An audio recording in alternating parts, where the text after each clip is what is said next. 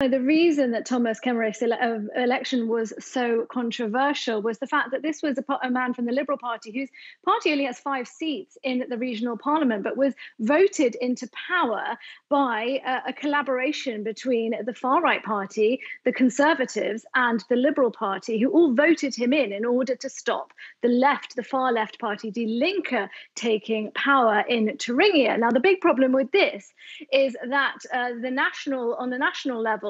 all of Germany's political parties, including, of course, the Conservatives, have a very strong red line against any sort of collaboration or working together with the AFD whatsoever. So these sort of back backroom negotiations trying to get Kemmerich elected really uh, were taken very, very badly here in Berlin by all leading politicians. Uh, we saw a lot of damage control done quite quickly, and especially in the state of Thuringia, uh, when we talk about the AFD there, it is the furthest right of the far right branch of the AFD. Uh, the head of the AFD in Thuringia, Björn Höcke, can legally, according to a court judgment, be called a fascist because of his links to extreme extremist groups. So this has really caused shockwaves in Germany.